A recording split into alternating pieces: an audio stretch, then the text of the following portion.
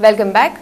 કચ્છની જળસીમાએથી ચાર બોટમાં સવાર થઈ કેટલાક પાકિસ્તાની આતંકવાદીઓ ભરૂચ કે મુંબઈ સુધી પહોંચવાની પેરવી કરી રહ્યા હોવાની બાતમીના પગલે છેલ્લા ચાર દિવસથી કચ્છનું પોલીસ તંત્ર હાઈ એલર્ટ પર મુકાઈ ગયું છે.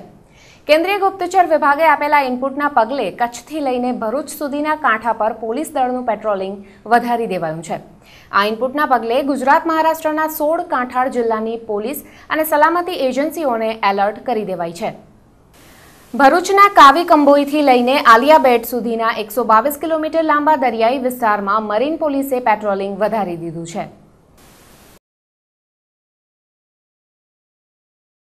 તો સેન્ટ્રલ આઈબીના ઇનપુટ વચ્ચે કચ્છની વિગો કોટ સરહદેથી એક પાકિસ્તાની દંપતી ઝડપાઈ જતા સરહદી જિલ્લામાં ભારે ચકચાર મચી ગઈ છે.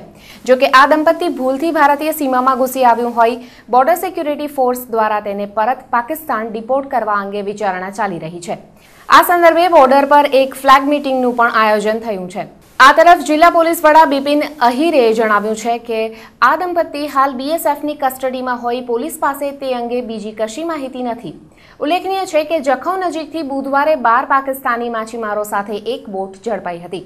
તેના થોડાક જ કલાકોમાં પાકિસ્તાની દંપતી સરહદે ઝડપાઈ જતા સલામતી એજન્સીઓ સમગ્ર ઘટનાક્રમને ભારે ઝીણવટથી તપાસી રહી છે.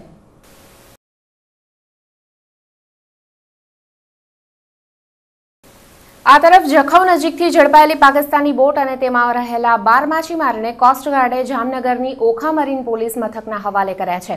આ માછીમારો પાસેથી માછલીઓના થોડાક જથ્થા સિવાય બીજું કંઈ જ મળ્યું નથી. કોસ્ટગાર્ડે પણ આ માછીમારોની સઘન પૂછપરછ કરી હતી. હાલ સમુદ્રમાં માછીમારી પર પ્રતિબંધ મુકાયેલો છે.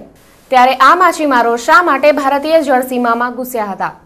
તેઓ કેટલા દિવસથી ભારતીય જળસીમામાં ઘૂસ્યા હતા અને માછીમારી સિવાય બીજો કોઈ નાપાક ઈરાદો હતો કે કેમ તે અંગે તપાસ કરવા તેમની પૂછપરછમાં વિવિધ સલામતી એજન્સીઓ પણ જોડાઈ છે. કચ્છ બીએસએફના કેટલાક ઉચ્ચ અધિકારીઓએ પણ ઓખા જઈને આ માછીમારોની પૂછપરછ હાથ ધરી છે. અને હવે વાત જિલ્લામાં યથાવત રહેલી મેઘ મહેરની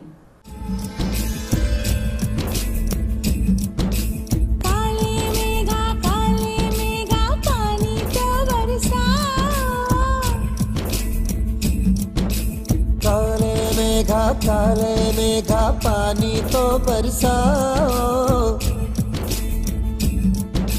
बिजली की तलवार नहीं बूंदों के बान चलाओ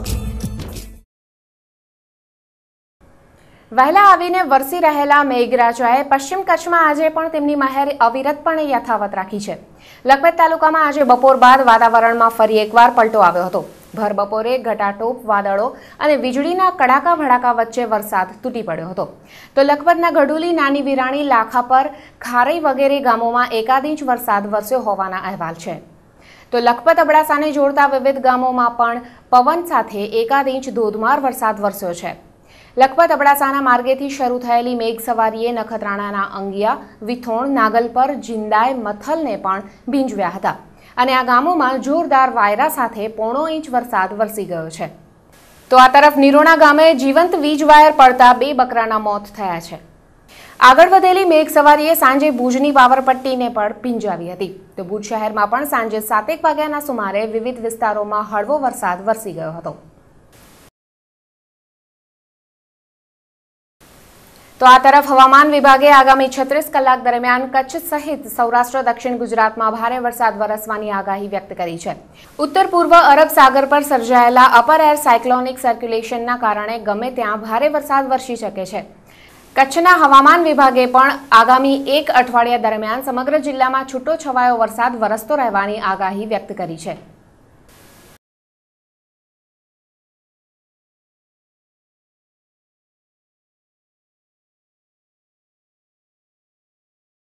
देखिए, आने वाले एक हफ़्ते में ऐसे ही रहने की संभावना है। कहीं भी बारिश हो सकती है। आइसोलेटेड रेनफॉल का फोरकास्ट हमने दिया हुआ है। भुज में भी उम्मीद है कि आने वाले एक दो दिन में बारिश की संभावना है। कहीं भी हो सकता है, जहाँ भी सिस्टम को फेवरेबल कंडीशन मिलेगी, वहीं पे बारिश हो जाएगा। क्योंकि साउथ वेस्टर्ली विंड इस समय चल रहा है और एक अपर एयर लो बना हुआ है गुजरात के ऊपर।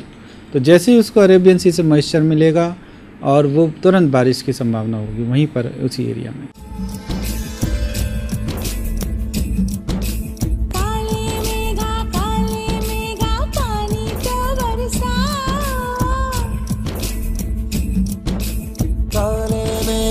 काले मेघा पानी तो बरसाओ बिजली की तलवार नहीं बूंदों के बान चलाओ અને અહીં લઈશું વધુ એક વિરામ આપ જોતા રહો કચ્છ ઉદય ટીવી ન્યૂઝ